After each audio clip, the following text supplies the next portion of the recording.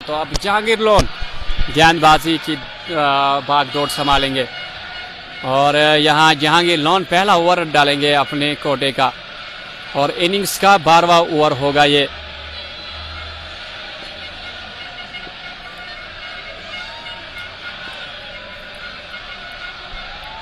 Jahangir loan अब गेंदबाजी करेंगे। और जो जो जो व्यूवर्स अभी हमारे साथ बने हुए अगर आपने अभी हमारे पेज को फॉलो और लाइक नहीं किया तो लाइक और फॉलो करते जाइएगा।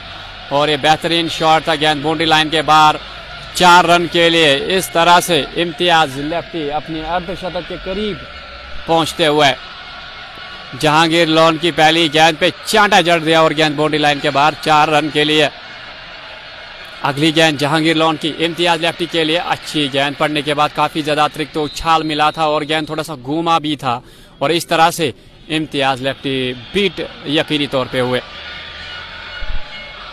अगली गेंद जहांगीर लोन की डिफेंस अंदाज में यहाँ खेलने में कामयाब रहे इम्तियाज़ लेफ्टी, बिल्कुल भी अब यहाँ जोखिम नहीं ले रहे। इन्हें पता है छह खिलाड़ी आउट हो चुके हैं। अब सारा कुछ मेरे ऊपर ही निर्भर है।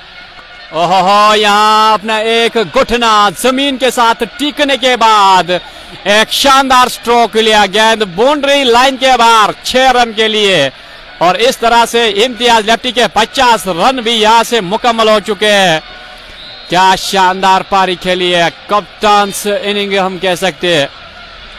और अकेले दम पे यहाँ इनिंग्स को आगे लेने में कामयाब रहे, सफल रहे। अगरचे अपने दूसरे खिलाड़ियों से, दूसरे बल्लेबाजों से यहाँ साथ नहीं मिला।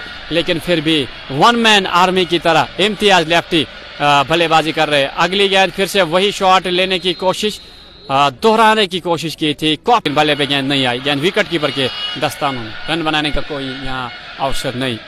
अगली गेंद ऑफ़ साइड के बाहर डिफेंस अंदाज में फिर से खेलने की कोशिश हुई थी।